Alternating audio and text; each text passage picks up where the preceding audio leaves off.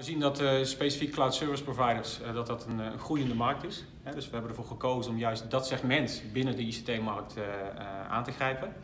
En wat we daar doen is dat wij diepte-interviews afnemen bij, bij beslissers van die cloud service providers, van die CSP's.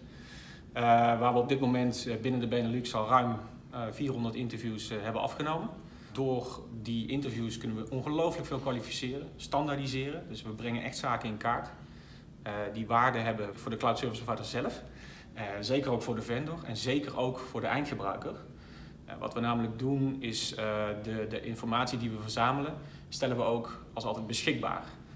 dus op het moment dat een, een, cloud service provider een interview afneemt, dan zal hij of zij direct toegang krijgen middels een dashboard tot, tot al die kwalificaties. En uiteindelijk gaan we ook al die kwalificaties uh, naar de eindgebruiker brengen. Zodat ook de eindgebruiker waarde kan uithalen uit die toch wel complexe markt. Ja. Uh, hoe die in elkaar steekt en, uh, en, en wie waarvoor verantwoordelijk is en wat ze doen. Het valt enorm op dat het een, wat ik net al zei, een complex netwerk aan het worden is. we zien dat ja, je hebt leveranciers die zich specialiseren op software, maar ook infrastructure platform as a service. Maar dat die ook uh, elkaar uh, gaan helpen. Dus je ziet dat er steeds meer uh, strategische keuzes worden gemaakt in, in specialisme. Ja. en dat ook bijvoorbeeld een cloud service provider die een groot datacenter of veel capaciteit hebben, ook kan leveren aan een andere cloud service provider. Die juist weer vanuit zijn of haar markt ja. behoefte heeft aan bijvoorbeeld private cloud oplossingen. Ja. Vanwege compliancy in de, in de vertical waarin zij zich specialiseren.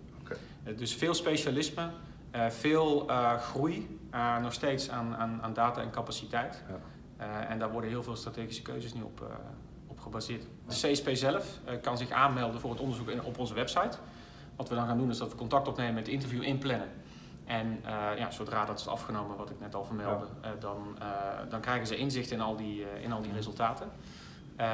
en dat is ja, de manier om, om, om, om snel tot, tot marktintelligentie te komen.